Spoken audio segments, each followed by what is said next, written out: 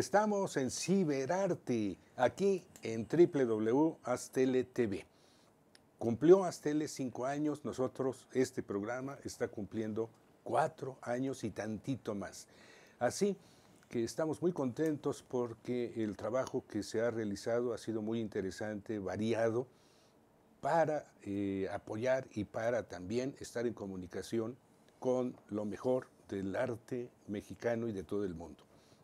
Esta mañana tenemos varias visitas que son eh, realmente muy eh, importantes, interesantes, vitales para eh, que la juventud, ya usted va a ver por qué los hemos invitado. Se trata de Astra Fílmica, que Altra, Altra Fílmica. Altra Fílmica que se encuentra en los estudios Churubusco y que hace una semana estuvimos ahí para celebrar la finalización de un diplomado máster en cine. Así que ahorita nos van a desglosar poco a poco todo lo que implica ser un estudioso del cine. En las artes, lo peligroso es meter un pie en él, en, el, en ese arte, porque después ya no se sale uno, nunca. Así que hoy vamos a tener una mañana de cine con eh, Guillermo Buigas, a quien le ruego que por favor nos presente, que se presente y que nos presente a sus profesores. Bueno, muchísimo gusto, muchísimas gracias por habernos invitado, Guillermo Buigas, José Manuel y Jaime Aparicio, director y maestro de la escuela, director de cine. Eh, es la gente que ha venido de parte de otra fílmica. ¿Qué tal? Muy buenas tardes. Buenas tardes. Muy bien. Entonces, vamos a empezar por ver el, el video que preparó Alejandro acerca de... Es el demo reel de Guillermo Buigas, que... Así se llama, ¿verdad? Sí, es el demo reel de Guillermo Buigas eh, sobre tu trabajo en, en, la parte de dirección de arte. Ok. Vamos sí, a, ver, a ver, el si demo reel. Ahí el video.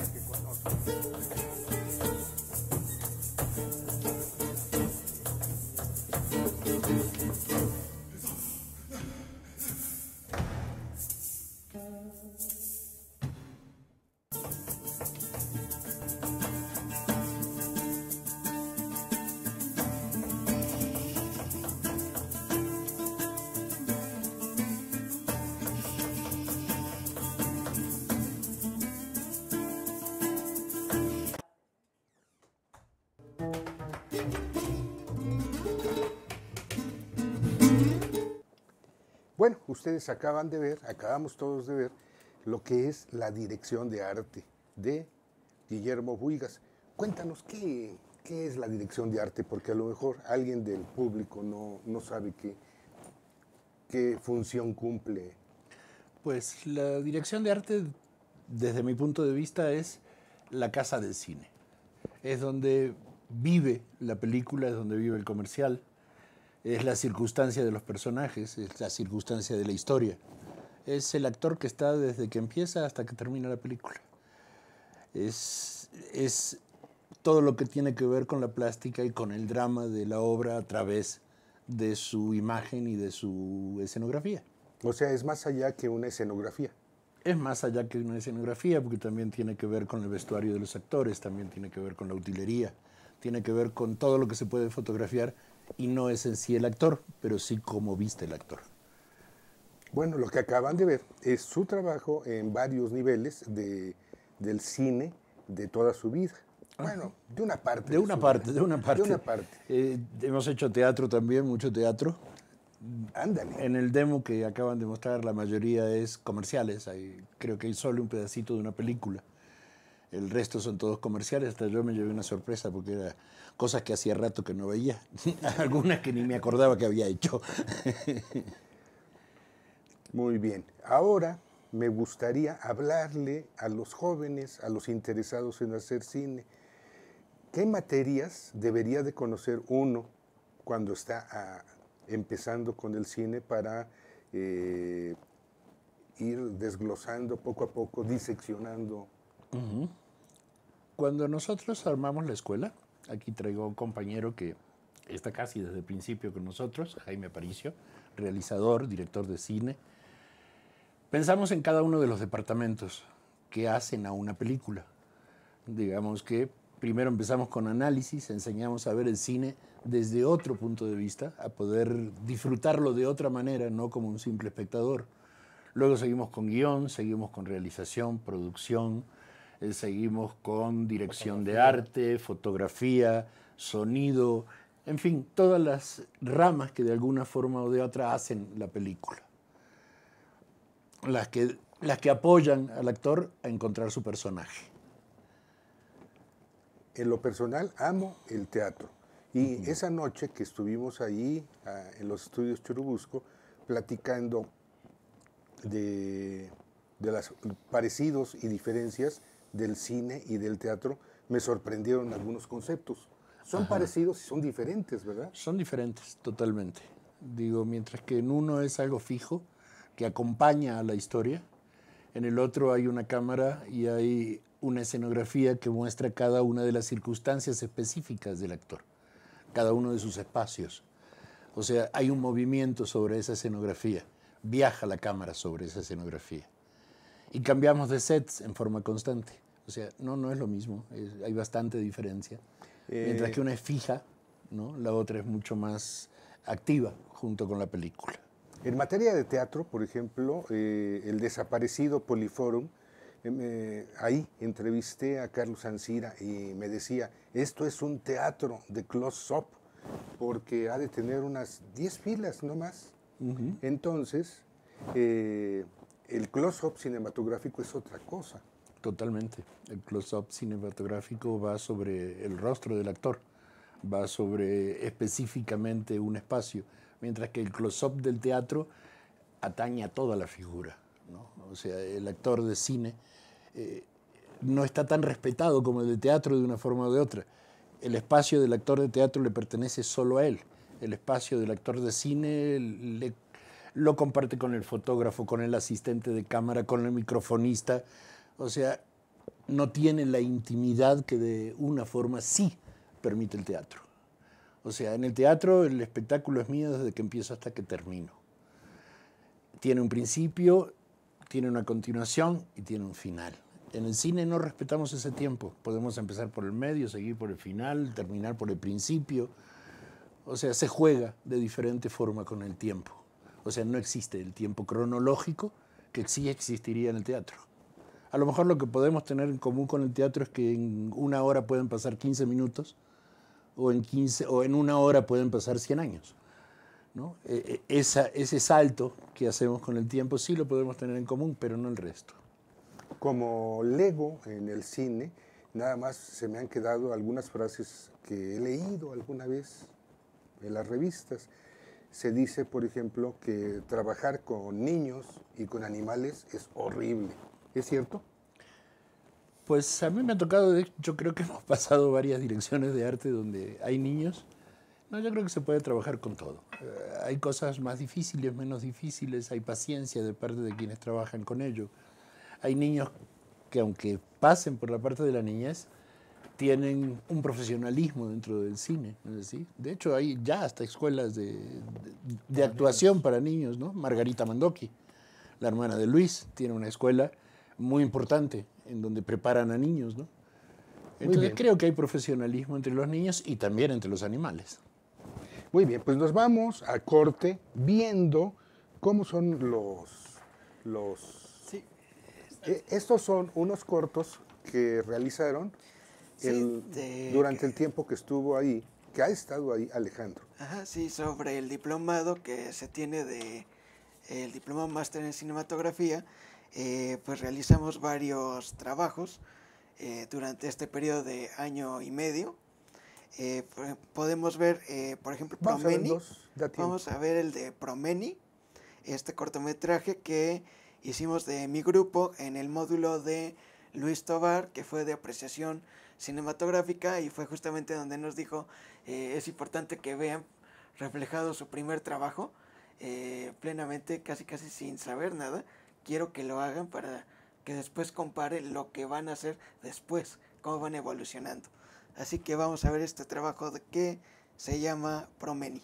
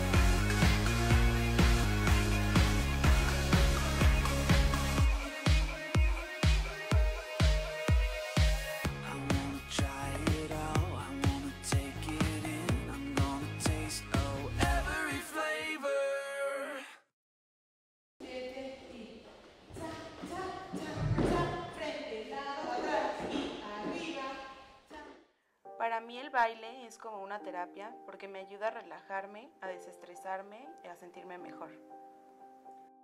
Cuando era estudiante estuve becada por el taller de baile y al terminar la licenciatura me ofrecieron quedarme como maestra de danza y acepté de inmediato. Más que un trabajo, lo veo como una forma de regresarle a la institución el apoyo que en algún momento me brindó. Estudié psicología porque siempre me ha gustado ayudar a las personas que están a mi alrededor. Actualmente estoy haciendo una investigación con cuidadores primarios de pacientes con cáncer y esta experiencia me ha llevado a plantearme nuevos horizontes en lo profesional.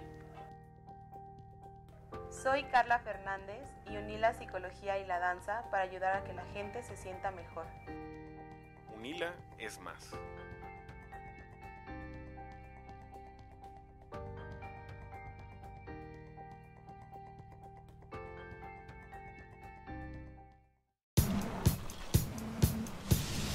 Para cuando sudamos la camiseta. Para los que tenemos una vida intensa. Porque todos necesitamos rehidratarnos. Electrolit, hidratación total, científicamente hidratante.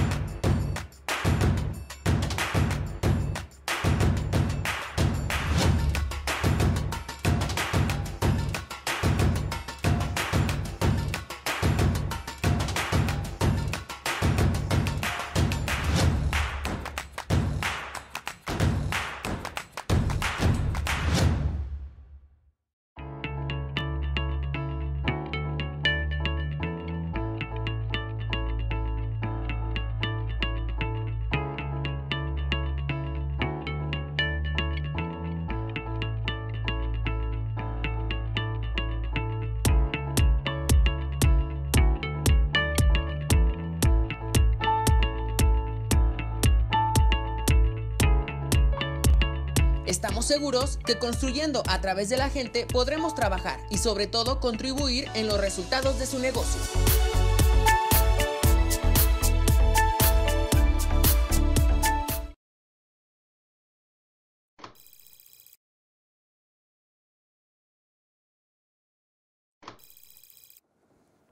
El mundo del cine es el mundo de la aventura. Uno sabe que va a empezar un proyecto que ha cocinado, que ha masticado uno, dos, tres más años y de repente entra a trabajar, a aplicarlo, a construirlo, a levantarlo y no sabe con qué monstruo se va a topar el día de hoy.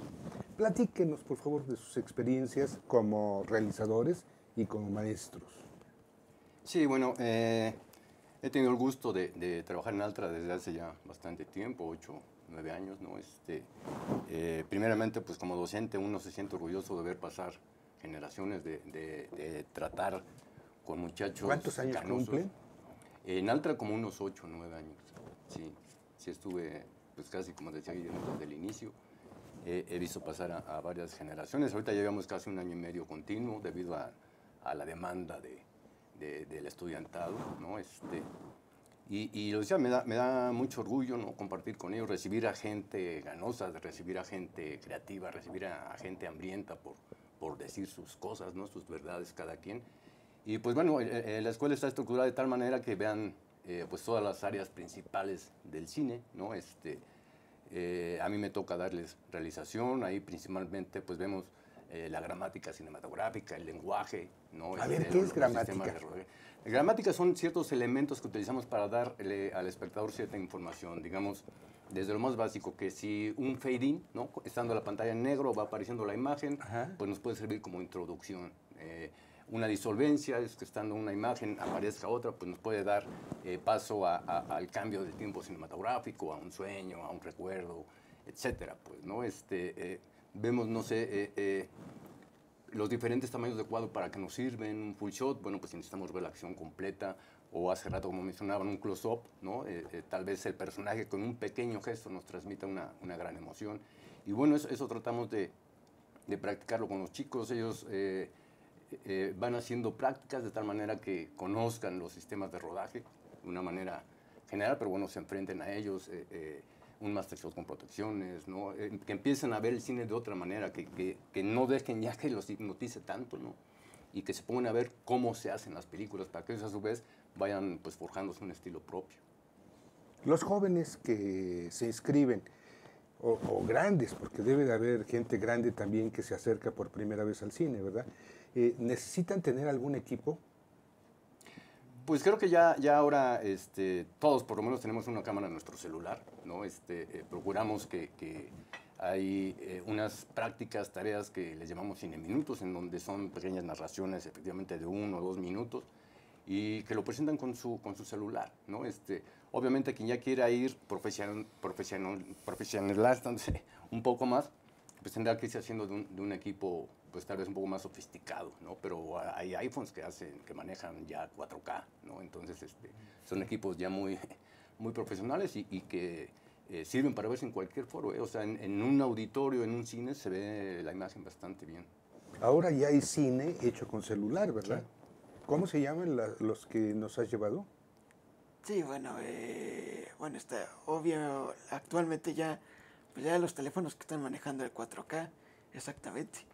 O sea que ya con el 4K estás hablando de cuatro veces el HD en definición y ya la, la calidad tal cual para una pantalla en cine se ve impecable. La película del travesti. Ah, sí, sí. La, las, ah, bueno, no sé, digo, por ejemplo, Oso Polar, Ajá. por ejemplo, se manejó únicamente con celular. Y ya ha ganado premios. Y ganó, bueno, ganó acá en uh -huh. festivales, eh, también se ha ido a varios festivales a, a nivel internacional. Eh, sí ha habido varios proyectos ya que se han hecho con, eh, con celular. Eh, creo que también estaba Tangerine, ¿no? Sí, sí, incluso eh, sí, también directores muy por,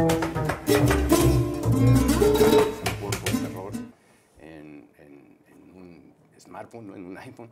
Y, y Michel Gondry, que también es, es, un gran realizador, tiene un coro también hecho totalmente con, con, con su teléfono, ¿no? Entonces, este, eh, pues ya la imagen eh, eh, está ahí, ¿no? Como al alcance de todos. Y, bueno, y ahora el chiste es nosotros qué ponemos en medio del cuadrito, ¿no?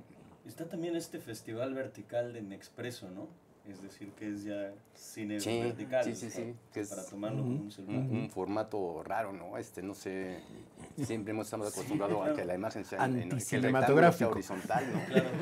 Pero bueno, eh, habla de la apertura, ¿no? De, sí, digo, y sobre todo de esta tendencia que, a que se haga con un celular. Sí, hace dos años, me parece, o tres, eh, la película ganadora de Cannes eh, utilizó un formato uno a uno, ¿no? es decir, un cuadrado. Entonces ya realmente la, la apertura, la posibilidad de hacer cualquier cosa eh, hoy en día está ahí. Eh, ¿Se puede ver ya Canino en México? Canino. La de un uh, griego. Uh -huh. ¿Cómo ah, se llama su sí, otra película? Hablaba la de... Sí, sí, sí, me acuerdo. La... Ay, ay Dios mío, la de... Ah, ¿El siervo? Sí. Sí, es que no me acuerdo ahorita del nombre. Este, sí, la de... Sí, sí, sí, tengo el concepto, pero no me hemos acuerdo visto del título. los avances en internet y, y, me ha parecido muy impactante este griego que se atreve a cosas muy raras y que tiene un, un, un filme de un, un, ciervo, un culto al ciervo, algo, por ahí va. Eh, la cultura de, los, de la, sus alumnos que ingresan, su cultura cinematográfica, ¿cómo la califican? Ah, pues yo la calificaría como espectadores comunes y corrientes, ¿no? O sea, ahí, ahí desde quien de entra, entra gustándole Avengers, ¿no? Muy pocos por ahí conocen cine mexicano y no necesariamente el contemporáneo, hablamos de los inicios del cine o de la, o de la época de oro.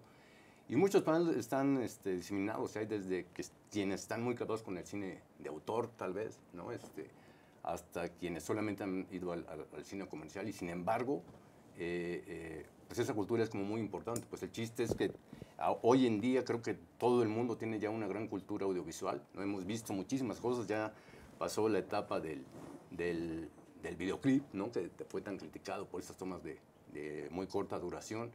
Pero también eh, eh, estamos pasando ya la, la, etapa del cine contemplativo, ¿no? donde son tomas que tal vez puedan resultar no extremadamente largas o eternas y que sin embargo este, pues los asimilamos muy bien. ¿no? Entonces, eh, los chicos que llegan yo diría que con un nivel estándar, ¿no? Eso no importa porque todos comienzan con el módulo de, de, análisis en donde tratamos como de que se emparejen cierto conocimiento, por lo menos de las corrientes más importantes en la historia del cine, ¿no? que vean los cineastas más destacados que ha habido a través de la historia y pues bueno, ya de ahí podemos partir. ¿Y el nivel de los que están egresando? ¿Cómo lo calificarían? Pues yo creo que salen con, un buen nivel de práctica, también un buen nivel eh, eh, eh, en, el, en, el, aspecto conceptual, no manejan ya ciertas palabras, manejan ciertos cortes, manejan cierto lenguaje, ¿no? que los podría llevar, no sé, a, a incrustarse en, en, la industria, obviamente comenzando desde abajo, pues, pero cuentan ya con ciertos conocimientos que les abriría la puerta para, para quien quiera dedicarse a, o para quien quiera profundizar sus estudios en alguna otra escuela ya, pues más, más este, grande, por decirlo así. ¿no? Muy bien. Me decías que traen cinco becas con descuento para quien, para el auditorio que quisiera inscribirse en, en este diplomado máster. Aquí José Manuel es quien nos puede dar esa información, es el que trae el regalo debajo del brazo. Adelante. Sí, claro, de hecho este, les ofrecemos eh, a su programa, les damos cinco becas eh, con un 30% de descuento eh, Bravo. Para, para, su auditorio. El mecanismo ustedes lo decidirán. Y nosotros empezamos cursos nuevamente en el mes de agosto. Entonces, igual para que tomen ellos en consideración ese tiempo, dura 20 meses el diplomado, cursan 10, 10 módulos, empezando por análisis, como ya han platicado es, pues, el, es la historia de, de, del cine, por un lado, y eh, pues terminan propiamente con eh, lo que sería producción. Dentro del mismo diplomado tenemos algunos talleres que son gratuitos para nuestro alumnado, eh, como por ejemplo es guion. Hay muchos chicos, bueno, todo empieza por medio del, guion y aquí el maestro no me dejará mentir. todo nace con una historia, entonces si no tenemos bien cimentada esta historia, pues es, es complicado contar algo. Eh, tenemos también taller de carpetismo, que también aquí el maestro Jaime... ¿Qué es carpetismo? Es carpetismo. Bueno, aquí el maestro Jaime mejor que lo explique, pero son parte de los, te, te, concluyo, son parte de los talleres que también les damos a los chicos de, de manera gratuita. Y a los graduados, eh, al final del diplomado les hacemos un concurso. ¿En qué consiste esto? Pues desde el principio eh, hacer un guion de manera profesional, hacer una carpeta eh, con todos sus presupuestos, eh, como, debe, como debe ser, como debe ser cualquier producción, y eh, hacer su crew, es decir, su equipo de trabajo, y una serie de dinámicas o de documentos también que ellos deben anexar. Y nosotros les ponemos una cantidad de dinero, les ponemos el equipo, y les ayudamos, bueno, los maestros los apoyan de alguna manera técnicamente, pero básicamente ellos tienen que hacerlo solo ya al final del, del diplomado. Es un gran premio. Sí, sí, sí, sí, digo, y sobre todo es ver también que ellos se den cuenta ya al final del, diplomado lo que pueden hacer, hasta dónde pueden llegar. Porque bien como comentaba Alejandro y el corto que vimos al inicio, pues estos cortos es su primer módulo, lo hacen al final del primer módulo, es decir, después de nueve semanas de haber estado ahí con, con nosotros. Entonces, ellos empiezan a ver, bueno, de ahí para pasar no vieron lo que es sonido, ni sonido, bueno, sonido directo, cualquier clase de sonido, no han visto nada de realización, ni de producción, ni dirección de actores, ni dirección de arte. O sea, realmente no han visto ningún otro módulo más que apreciación. Y me decías que hay, en ocasiones recibían en préstamo equipo, ¿verdad? Sí, no, obvio. evidentemente para hacer la, las prácticas nos dan el préstamo del equipo, entonces ya nosotros tenemos que salir directamente a, a la parte de realización. Bueno, ya lo que es la parte de desde el guion, eh, realización de las carpetas, eh, búsqueda de locaciones, eh, no se diga la iluminación, o sea, fotografía, tienes que hacer el casting para los actores, si se puede ensayar, ensayar con los actores, ir al lugar, o sea, checar este, los puntos de fotografía que vas, a, que vas a usar en ese lugar, en tu locación, cuánto, el tiempo estimado de la grabación, eh, evidentemente después la postproducción, ¿no? Toda la parte de edición, eh, eh, el manejo del sonido. O sea, tienes que estimar todos los tiempos y tienes que estimar el, pre, el presupuesto, ¿no? Como si también tener una, una cama, diríamos, de, de, un presupuesto extra por cualquier cosa que pueda suceder. O sea, tienes que ir viendo todo este tipo de, de situaciones dentro del contexto de lo que es un- una película o un cortometraje. Igual se hace en una, como en las series de televisión, ¿no?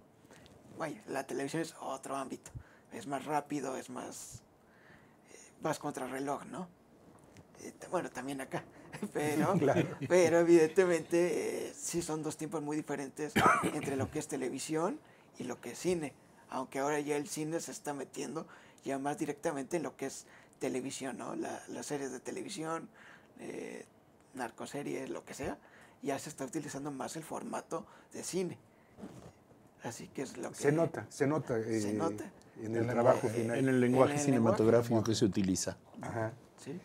Muy bien, pues pide, nos vamos a corte, Sí. pide otro. Ah, pues vámonos a, a corte y vamos a ver este mini, do- mini documental que se llama Mi Gran Amor, que lo realizamos en el módulo de fotografía con el profesor Víctor Audifred y este pues también fue una muy buena experiencia ahí con Víctor y con Sara que nos estuvieron apoyando para realizar este este mini documental, así que vamos a verlo. Mi nombre es Elia Ruiz Olmos y tengo 72 años. Mi pasatiempo es bailar danzón.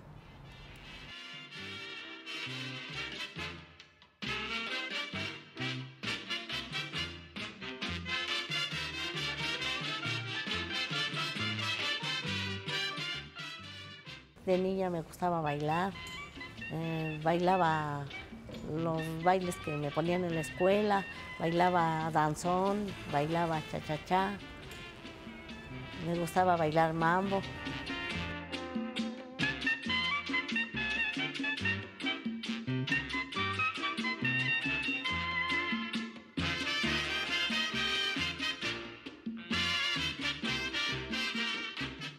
Cuando era joven bailaba en el California. Hoy bailo aquí en la Ciudadela. Mi tío me decía que, me decía, cuando estés grande, te voy a llevar a bailar.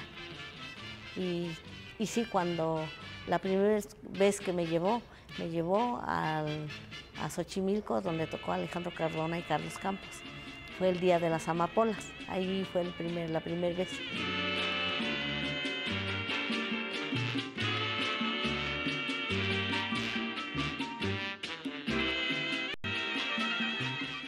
Yo conocí a mi esposo en el baile de las amapolas, en Xochimilco. No sabía bailar, pero yo, yo le enseñé a bailar. Me llevaba a todos los bailes del- de los que habían muchos bailes en los pueblos, me llevaba a todos. Y, y así, sí, no, él nunca fue malo, él. Hasta que murió y todavía cuando estaba bien grave me dijo, ¿te vas a bailar, eh? No te quedes así, vete a bailar. Ahorita tengo nada más una hija, porque tuve tres hijos. Mis hijos fallecieron. Primero murió uno, luego el otro y luego acaba de morir el último que me quedaba. Él me traía y me decía, ¿quieres ir a bailar, mamá? Vete a bailar. Vamos, te llevo. Él me traía al California. Cuando murió mi esposo, me traía aquí. Toda mi vida me he pasado bailando.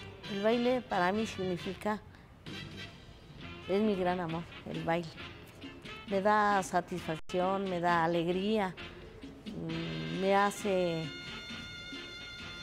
me da, siento placer. Por el baile conozco gente, amistades. Y, ese es mi gran amor, el, el baile. Para bailar no se necesita una técnica, se, se necesita sentirlo, practicarlo para poder bailar. Mm, Necesitamos tener o hacerlo con pasión, el baile, una pasión del corazón.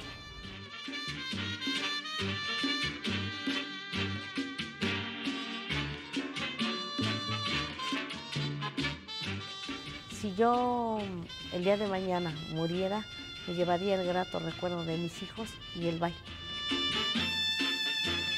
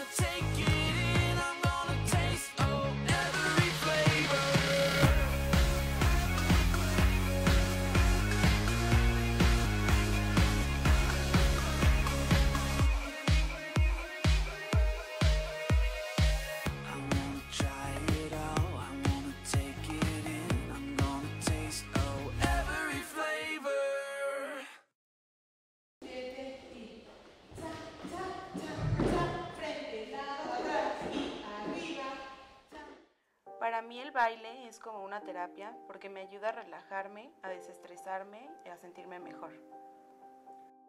Cuando era estudiante estuve becada por el taller de baile y al terminar la licenciatura me ofrecieron quedarme como maestra de danza y acepté de inmediato. Más que un trabajo, lo veo como una forma de regresarle a la institución el apoyo que en algún momento me brindó. Estudié psicología porque siempre me ha gustado ayudar a las personas que están a mi alrededor. Actualmente estoy haciendo una investigación con cuidadores primarios de pacientes con cáncer y esta experiencia me ha llevado a plantearme nuevos horizontes en lo profesional. Soy Carla Fernández y uní la psicología y la danza para ayudar a que la gente se sienta mejor. Unila es más.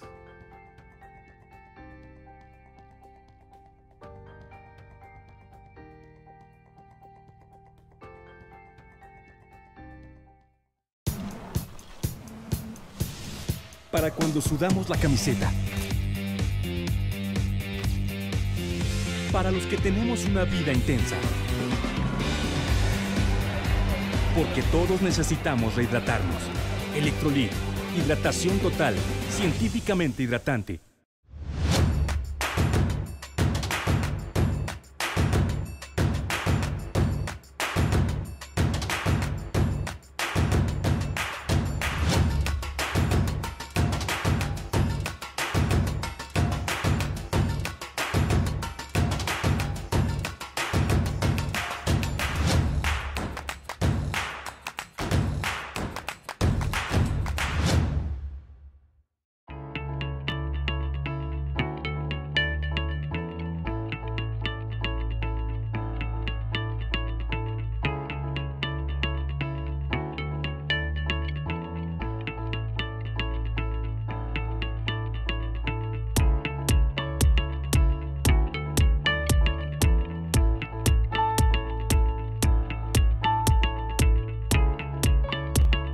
Estamos seguros que construyendo a través de la gente podremos trabajar y sobre todo contribuir en los resultados de su negocio.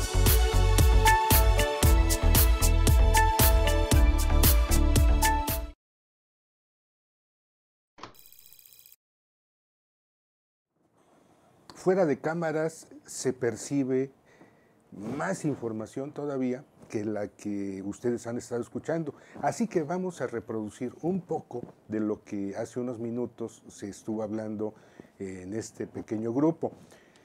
Eh, se está democratizando el hacer arte. ¿Cómo?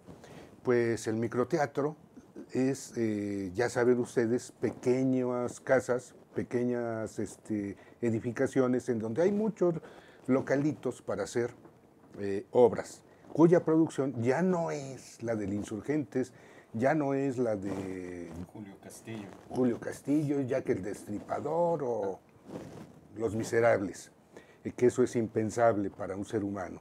Entonces, eh, los microteatros permiten pequeñas producciones que eh, hacen que, aunque no ganen dinero, han dicho que sí ganan dinero, pero yo lo, yo lo niego. Hago números y por ninguna parte. Así que lo hacen para no empantanarse en lo comercial y para eh, estar frescos, para tener experiencias frente al público en verdadero close-up teatral. Entonces, eh, me estaban, estaban aquí argumentando los maestros que las nuevas formas de hacer cine a través del celular, a través de aparatos de pequeño formato, están permitiendo que haya un acercamiento, porque antes nada más se podía hacer por los grandes estudios. En los grandes ¿verdad? estudios, o sea, tener una cámara de 35 milímetros era algo muy prohibitivo, impensable, ¿no? Solamente muy poquititos, porque el costo era terrible. Y cada rollo valía un... Y cada rollo, y aparte un laboratorio, y aparte un estudio donde hacerlo, y la iluminación donde hacerlo. Y ahora la tecnología ha permitido que hay cámaras mucho más sensibles, que no necesitan tanta iluminación, que no son tan caras, que, que- que pueden significar un esfuerzo comprarlas, pero no significa una imposibilidad total y absoluta. Digo, estábamos diciendo que ya tenemos teléfonos de 4K. ¿no? Cosas que se dan solamente hace pocos años en cámaras que costaban una fortuna. Y hoy ya lo tenemos en la altura de un teléfono, que no es el más barato, pero tampoco es imposible de comprar. Entonces, eso va permitiendo también que haya más acceso a, a esos lenguajes teatrales o cinematográficos, pero también está sacando el profesionalismo para hacerlo. El ingenio. El ingenio para hacerlo. La creatividad. Exactamente. Alejandro, de el- los, del grupo en el que estuviste, eh, ¿de qué origen cultural era, eran todos? ¿Ya venían de hacer cine? Mm, Bueno, eh, por ejemplo, algo, uno sí eh, trabajaba en TV Azteca, Ajá. por ejemplo, y sí tienen, eh, sí ha trabajado en, en algunas producciones, o sea, sí está empapado hasta cierto punto de, de lo que es la industria del cine.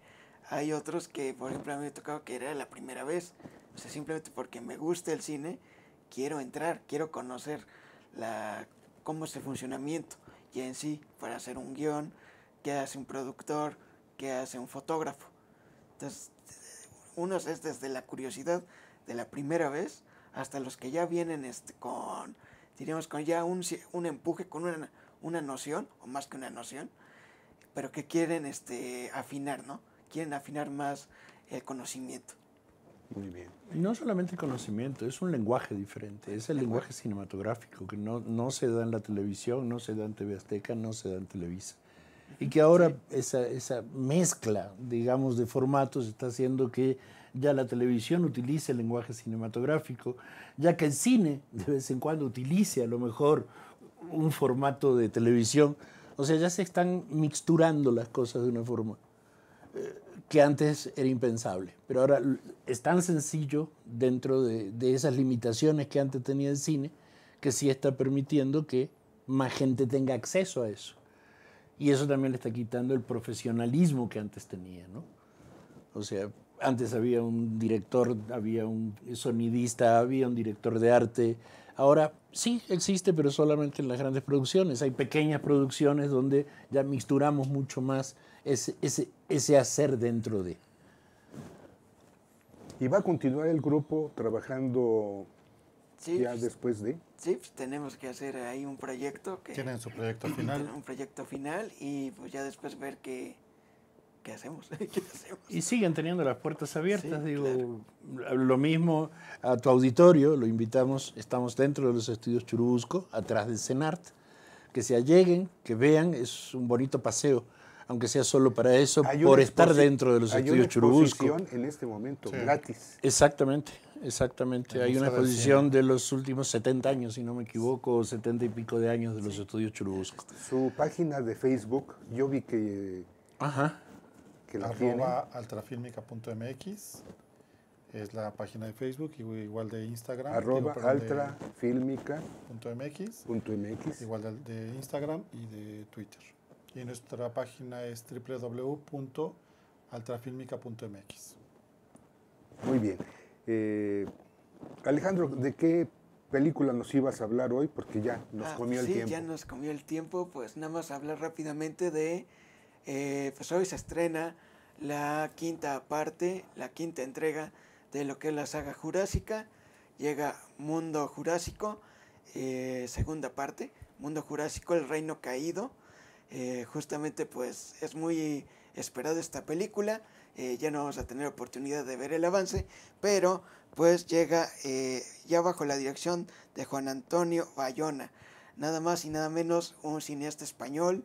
Eh, hay que recordarlo por su película, tiene varias películas importantes como El Orfanato, Un monstruo viene a visitarme, Así que, y él fue eh, apadrinado por Guillermo del Toro. Así que gracias a Guillermo del Toro llegó ese empuje para que eh, llegara a Hollywood. Y pues nada más y nada menos, imagínate que Steven Spielberg le, pues, le llamó la atención su trabajo y le dijo, quiero que tú hagas esta segunda parte, lo que es la quinta entrega de lo que es la saga de Parque Jurásico, que ahora es Mundo Jurásico, El Reino Caído, y pues veremos cómo, cómo le va en la taquilla este fin de semana aquí en México, ya eh, a partir de hoy también en Estados Unidos. Hay que recordar, hace dos semanas se estrenó en España, lleva muy buenos números, más de 350 millones de dólares en taquilla, 170 millones en el costo, en la producción, y pues veremos cómo le va. Eh, jaloneo, ¿no? En la crítica eh, entre la parte de, de que pues los españoles, dijéramos los críticos españoles, pues lo alaban, ya llegan los otros críticos que dicen, sí, pero, pero lo apoyan porque es español y le tienen que aplaudir porque es su primera producción estadounidense. Bueno, de todos modos, eh, creo que es importante ver esta película, eh, Mundo Jurásico, El Reino Caído, eh, pues veremos, es la película donde más dinosaurios van a aparecer. Vamos a ver espectacularidad, esa es la realidad. Es- eh, esperemos que sea un buen guion, ojalá, y en espera ya de lo que será la tercera parte de esta segunda trilogía dentro de tres años. Muchísimas gracias por Muchísimas venir. gracias a ustedes por invitarnos. maestros. Jaime Aparicio, por cierto, homónimo de un gran amigo mío de hace muchos años. Muchas gracias por haber venido. Vamos a cerrar este programa con unas escenas de Jack el Destripador, la rock ópera que está en el teatro ubicado en la Roma, Puebla y Cuauhtémoc. Eh, excelente trabajo, no tiene falla, ¿eh? voces, eh, vestuario, eh, escenografía, todo está muy recomendable. Vean ustedes unos minutos y nos vemos dentro de una semana. Benjamín Bernal.